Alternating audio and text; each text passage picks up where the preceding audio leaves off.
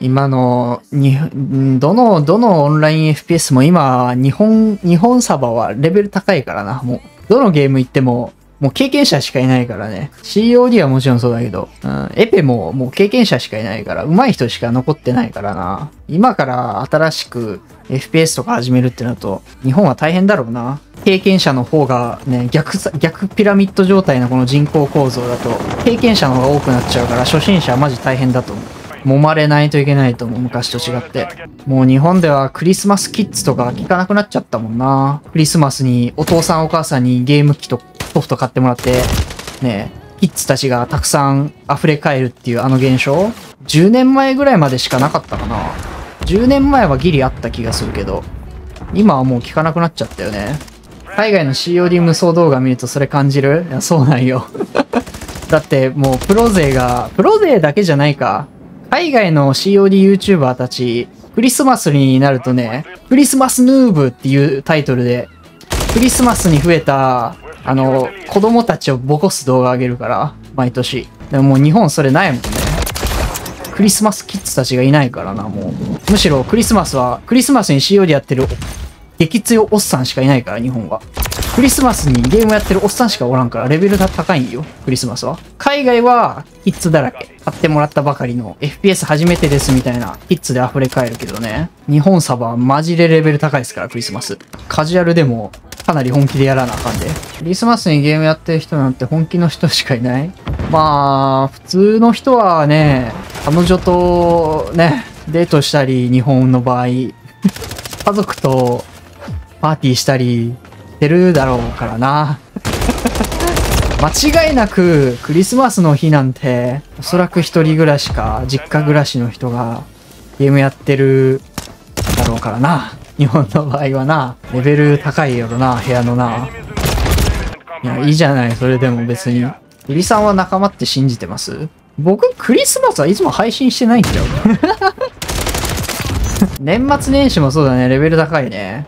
もうさ、PS5 ですら、いや、ソフトもさ、あんまもう、お年玉じゃ買えんのじゃない？日本。まあ、ソフトが1万として、ゲーム機買おうってなったら、こう、お年玉、まあね、もらってるとこはもらうだろうけど、普通に円安で今プラス2、3万でしょ？まあ、5、6万、6万。小中学生のお年玉じゃパッと買えないだろうね。お父さんとかに買ってもらうならまだしも。金持ちのとこは買買えるかもしれんけどさ。お年玉1万でした？今1万だと何買えるんだろう？小中学生1万もらえます。ゲームソフト1本とかになるし、コントローラーでさ、PS5 今1万するよね、ほぼほぼ。コントローラー買って終わりやんな、それだとな、もう。コントローラー、まあ、向こうだとね、60ドル、70ドルか。70ドルで、待って、今70ドルもいく、いくらよ？70ドル1万1000円やん。70ドルが1万1000円です。7000円が1万1000円になりました。まあ、お年玉1万、コントローラーで消えるな。ほんと。気づいたらお年玉あげる側になってました。僕、お年玉、あげてないかもしれん。お年玉あげてないかもしれん。もう来月29になっちゃうけど。身内、周りに子供産んでる人が全然おらん。あ、それで言うと、ラッシュのね、CEO のうららさんがね、ご出産されたから、それが初になるかもしれん。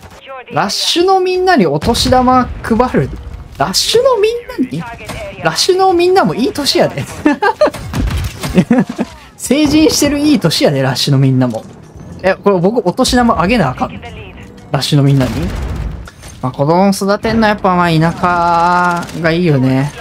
まあそれは多分シンプルに資金的な面もあるし、家賃安いとかね。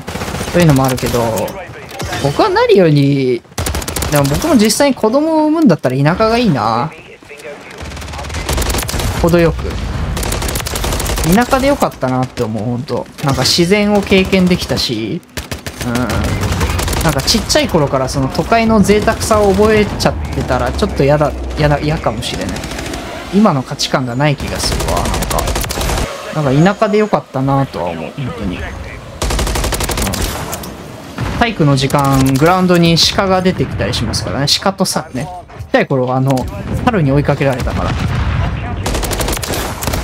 あの時まだなんかあんま駆除とかが進んでなくて、野生の猿がね、家の庭に結構いたりしたんだけど、もうめちゃくちゃ追いかけられましたね。猿に。まあ、あれも今となってはいい思い出。なんか DNA ボム出たけど。あれは そう、あの、すっごい田舎って言うけど、千葉の真ん中ら辺ですからね。それでも関東だよ、関東。言うて。言うて関東ですからね。でもそんな僕の、えー、地元もね、マジ少子化、少子高齢化が進みすぎて、もうね、もう消滅しそうですね。もうおじいちゃんおばあちゃんしか残ってないから、もうその人たちがいなくなったらもう、本当にね、消えちゃいますね、地元が。地元がなくなっちゃいますね。